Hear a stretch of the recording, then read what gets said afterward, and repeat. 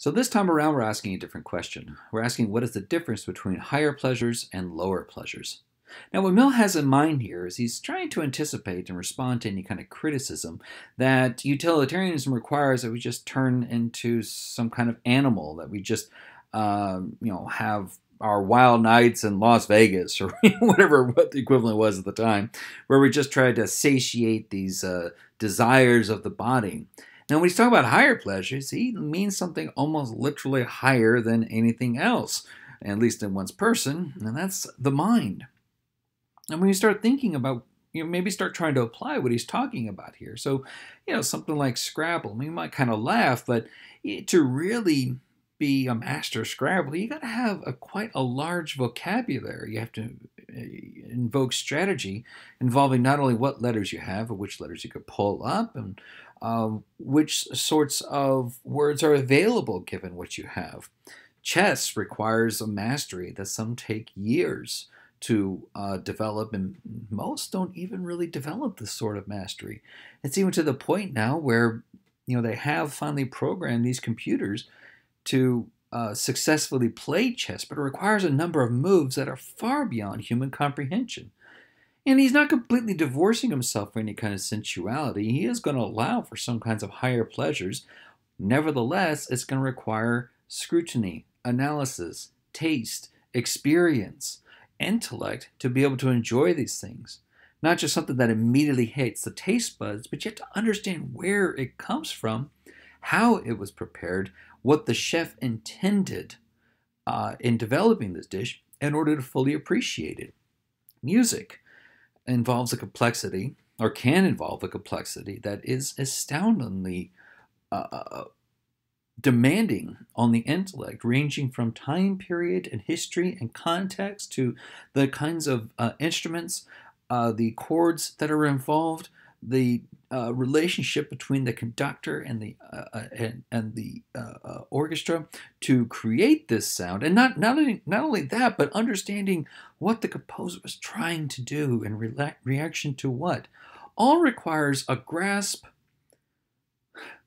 um, to intellectual grasp, an exercise that is beyond most people's common experiences. You have to work at it to develop these higher pleasures. In contrast, there are games that involve very little. There might be some strategy involved, but it's not like there's entire championships, books written to uh, uh, beat some of these games. I mean, there are okay, so there are books written to beat some of these games, but it's not as if you know if, if you develop a champion, if you develop a, a book and a walkthrough to to beat some of these games, uh, you know, that's it, right? The game is solved. Chess is never solved. You have to beat an opponent, not just a game. You know, we've got our very passive pleasures that are meant for not so much the, uh, of, you know, uh, between the ears, but just to evoke emotion, just to uh, get us riled up or to, you know, uh, uh, pass, passively entertain us. music in a lot of ways, a lot of pop music is just not that complicated. There's even set structures and instrumentations that are used time and time again as a ready formula. Right? There's almost no real analysis involved.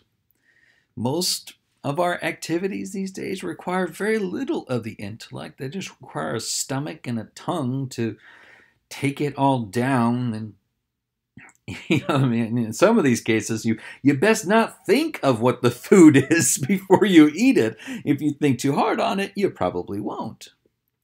And what Mill has, you know, Mill is, really trying to drive this home. He even has this metaphor, you know, this this kind of phrase. He says, you know, it's better to be a Socrates dissatisfied than a pig satisfied. I mean, think about what a pig does. It just, it literally just keeps its nose shoveled in the dirt, trying to satisfy its belly. Whereas Socrates literally probably wasn't fully intellectually satisfied his whole life. He continued to he continually strove to answer some of these deep questions, and nevertheless eluded him. And for Mill, it's better to be that than to be satisfied with shoving your nose in the dirt. And Mill I think what Mill might have in mind here is, even though he has a different answer than Aristotle, I think this is still something of an homage to Aristotle. At least it's something about what Aristotle had to say that, that nevertheless impressed Mill. And that these higher pleasures and lower pleasures have to deal with our human nature, what it means to be human to enjoy some of these things. Hmm? I mean, you can just sit around and eat, you know, non-nutritive flavor wafers that come in cellophane bags. you can do that, hmm. but it'll never bring you the full, real pleasure. And he, he makes this claim, and I don't know, he, he might be right. You know, it, it you know that these pleasures are higher, that they are better, because once you've experienced them, you're just never really satisfied with it. Once you've experienced exquisite food, you're never really satisfied with fast food.